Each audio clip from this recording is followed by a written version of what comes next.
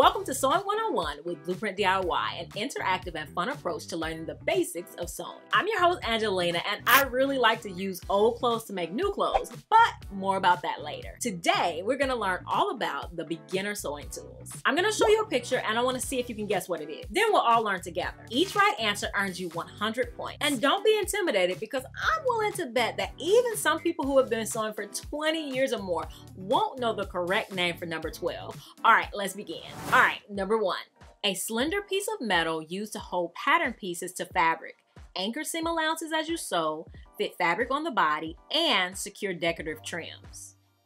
What am I? Hmm, what are these called? You have three, two, one. They're straight pins or sewing pins. And there's many different types of pens. You can get the ones like you see here with the little glass ball on the end. And a lot of people like them with a flat end so that they stay flat on the fabric. I do have a video on how to use pens if you're interested. I'll link it right here. They come in different thicknesses and different lengths for different purposes. You can have silk pens that are only for silk and they're sharper because when you put a pen in silk, you don't want to leave that imprint. And there's definitely a way that you use them in your seams to keep from sticking yourself. Trust me, I've done that plenty. All right, are you ready? Number two.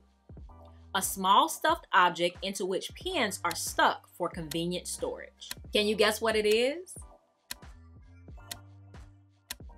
Three, two, one. It's a pin cushion. A lot of times you'll see them in this little tomato shape. And if you didn't know, actually the end of that little tomato is a pen sharpener. And so it has I believe it has like some type of metal inside that you can use to sharpen your pens. The pen cushion is used for convenient storage of your pens so that they don't end up everywhere. I've created these in my sewing room so that they're conveniently right next to the sewing machine. So once I'm finished taking them out of garment I just stick them in the pen cushion. And then you can also have a metal and it's a great thing to have a, a magnet. It's not a cushion, but a magnet pen holder. And that one is helpful for when you drop your pens. You can just move the magnet around the floor, even if you can't find it, and it'll find it for you. And they also hold them secure. But pen cushions have been around forever. They come in just like all different styles now, however you want them. But they're also really easy to make. All right, are you ready? Number three a very fine, slender piece of metal with a point at one end and a hole or eye for thread at the other, used to join together objects with thread. All right, do you know what it is? Three, two, one. They're hand sewing needles. These are the type of needles that you put the thread through and that you would use to sew by hand. Alternatively, you have different needles that go in the sewing machine.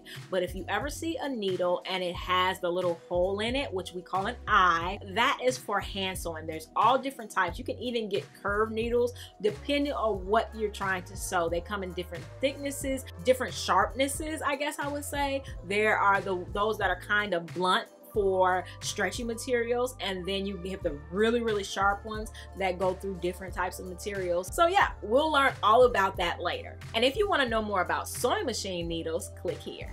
All right number four a bucket shaped tool designed to protect your finger when pushing a needle through layers of fabric. It can be made of metal plastic or leather. Do you know what it is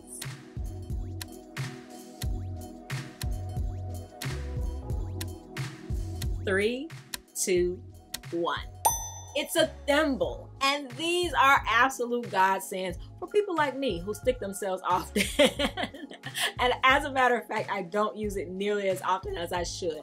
These are used whenever you are hand sewing. So when you're using those hand sewing needles, then a thimble, traditionally they were made out of metal. You would put it on whatever finger you're using to push the needle through. And so if you are hand sewing and you find it hard to push that needle through, which it often is, then you will use the thimble to get it through and then you could just pull it out. You can get it through as much as you need to all the way right to the fabric and then just pull it out on the other end without sticking yourself. Like I said, they do come in plastic and leather right now. As a matter of fact, I found some at the dollar store at Dollar Tree the other day. Nice, cute pink ones. All right, number five the yarn used to combine two or more fabric pieces together in garments, accessories, and other textile products. Do you know what it is?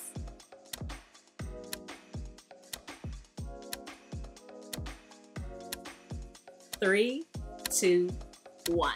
It's thread. This is the essential part of sewing. This is how we combine two pieces of fabric together.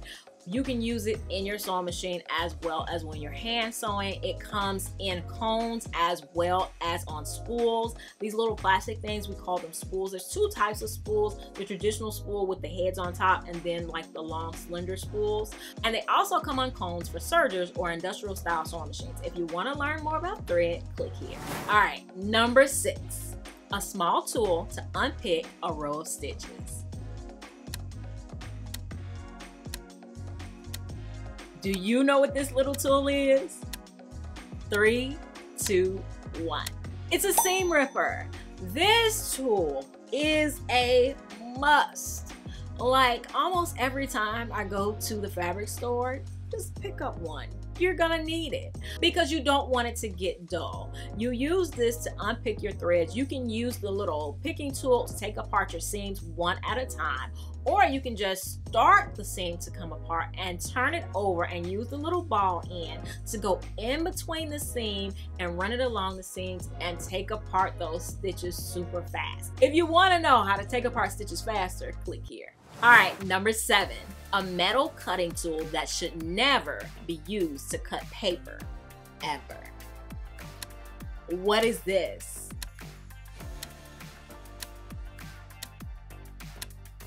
Three, two, one.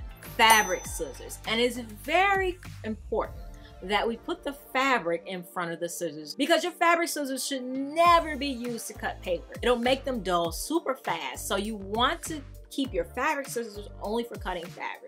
Now, I always say that you can use any new pair of scissors for fabric and it'll work just fine, but an actual pair of fabric scissors are a little bit different than regular scissors. Regular scissors are typically made with stainless steel, while fabric scissors are typically made with more of a carbon steel. It allows them to stay sharper, and fabric scissors often have a steeper angle on the blade, which also allows them to stay sharper. So yes, you definitely don't want to cut paper and definitely don't hit it on another metal.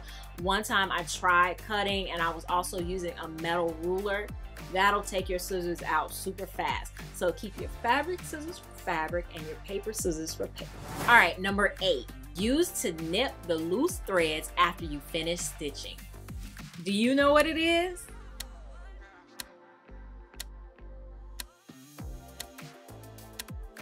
Three, two, one. Thread snips or nippers. I really like these because they're another tool, another cutting tool that you can use just to snip just the little edges of thread. These come in so handy to just have right on the side of your sewing machine or when you're doing finishing work with your hand sewing needles. So you'll just take it, use just like the edge, and you can get really close with these as opposed to a whole pair of scissors where you might have that little bit of edge left. So these will make your garments look nice and finished with no leftover threads. All right, number nine, a soft and flexible ribbon with linear measurement markings made mostly from reinforced polyester or fiberglass.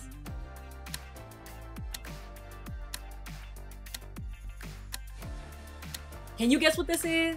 In three, two, one. This is called a tape measure and it's mostly used to take body measurements as well as for drafting patterns, laying out patterns on fabric, specifying the length of a garment, checking the size of hems, measuring curves and corners, and measuring curtains or quilts, and much more. It's a simple necessity for any seamstress. You'll see, like back in the day, all the ateliers had tape measures around their necks because you just don't want to be caught without it and it's just such a handy tool. All right, number 10, a plastic or wooden template having an edge composed of several different curves used for drawing curved lines. Do you know the actual name of these?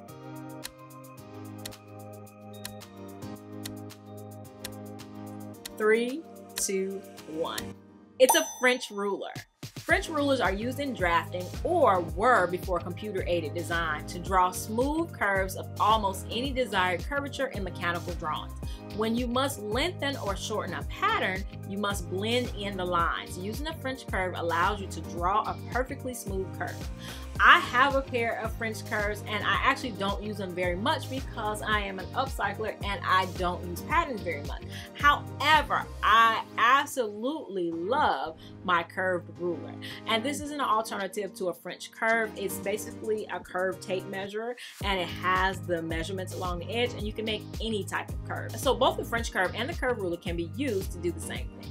All right, I ran out of fingers. Number 11, a thin, flat piece of hard chalk or soapstone used by tailors and seamstresses for making temporary marks on cloth. Do you know what this tool is that I never use? Three, two, one. It's tailor's chalk. Tailor's chalk is used to transfer lines to your fabric if you are making the pattern bigger or if you are just marking where you want to put your buttons, where you want to put different stitches, where you want to put the dart. Um, I actually use a sliver of soap. This is something my mom taught me a very long time, so you never have to buy chalk. Um, I just thought I would throw that in there. It's used for the exact same thing if you actually use bar soap. And there's also heat erasable markers that you can use if you prefer.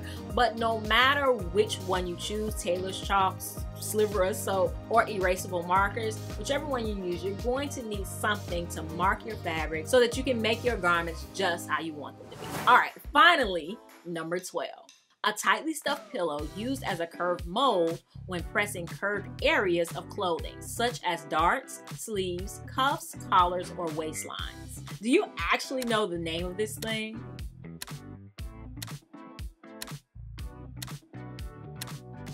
Three, two, one. It's called a tailor's ham. Yes, because it's shaped like a ham. I never knew the name of this thing until actually the last couple of years. And I just thought that that was so funny. And I can't forget it now because it's shaped like a ham. And you just use it, especially when you want like the shoulder of a garment or anything that's curved. It's so hard to iron it on a flat surface like an ironing board. So you can lay this on top of your table or on top of your ironing board. And it allows you to curve the garment over it. Say you're trying to open up your seam and lay it flat This is going to allow you to press that nice and neat, get it crisp and looking amazing. So now you know something that a lot of long-time sewers don't know. All right, last up, let's make it easy for you, number 13. A machine with a mechanically driven needle for sewing or stitching cloth.